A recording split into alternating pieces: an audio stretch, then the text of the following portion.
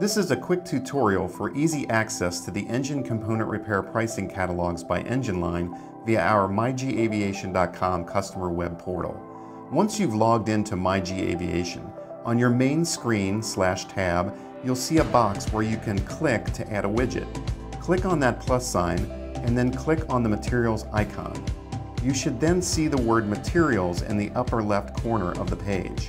Now click on the Add Widget button in the bottom right corner of the page. The Materials window will now appear. Under the Orders New dropdown, the Component Repair section slash Repair Catalogs will appear. The various aircraft and industrial engine platforms will appear as you go down the scroll.